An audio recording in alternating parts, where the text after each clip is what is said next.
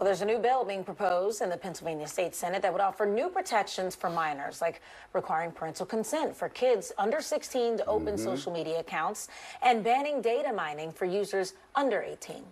And it's sponsored by Republican State Senator Kristin Phillips Hill and Democratic State Senator Vincent Hughes, who represents parts of Philadelphia and Montgomery County, of course. That's him. Yes, me. so That's Senator Hughes. Yes. Just, yes. You want to get them confused. This is Senator Oh Hughes. Bipartisan Yes. for sure. Absolutely. Thank God somebody's doing something, but this is an uphill climb. What would the bill do?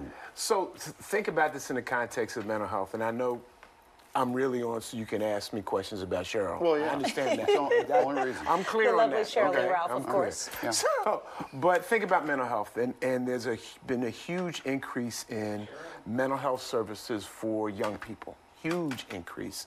Uh, and uh, we know it, there's a connection with social media. Yes. So what we're trying to do in a very simple fashion is provide some parental consent uh, if, if, if, if a child gets onto social media without parental consent, parents must be notified. and who would do the notifying? Would, would the app have to do that, It or? would, it would it would likely have to come through the application. Okay. Okay. Uh, and then, um, as you said, prohibit data mining, um, and require some some deletion if you are of all of your social media activity if you younger than 18 years of age. And you all know that. Um, we're not necessarily our most responsible selves when we're younger than 18 years of age. And what is data mining for those who don't know? Data mining is just utilizing all of the data that comes through your devices and um, can be utilized in a very negative way uh, that, that can drive uh, the need for mental health services. Any other state doing this? It's passed in Utah, a number of, Utah. of all places. Yeah. A number of other states uh, have introduced legislation. There's been bipartisan legislation introduced in Washington, D.C.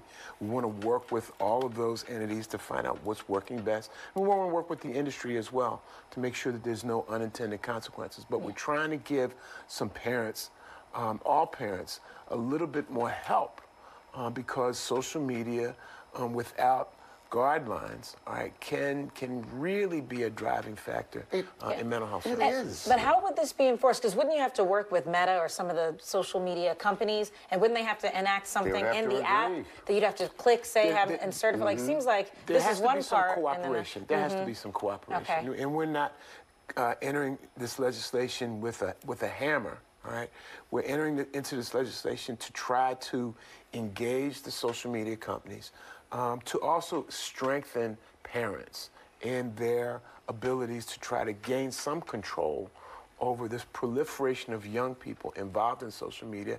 And as I said, there's very little guardrails. We all know this. I mean, just in our own interactions with social media, it's very little guardrails. What we want to do is provide parents a little bit of extra help. It seems like the toothpaste is out of the tube already. How are you going to get it back in the tube? Well, if we don't do something, then it'll just keep spilling all Yeah. over the, the That's true. bathroom sink, right? You know, Yeah. we've got to uh, look at this, look at this issue of mental health for young people. And remember, I asked folks to go back to that first notion.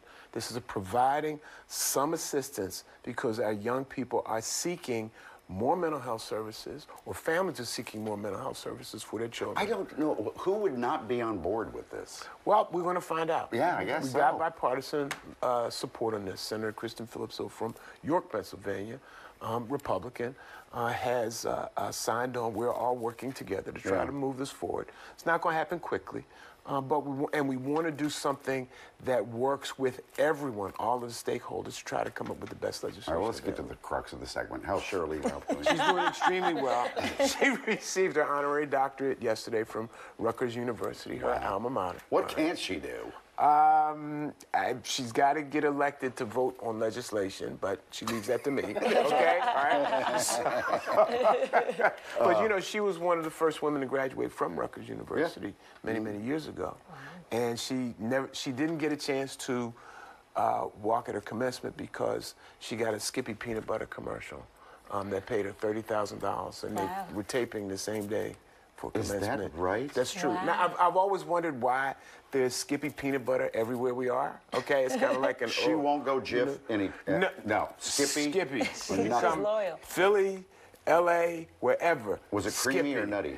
Uh, a little bit of both. A little bit of both. All right, you know.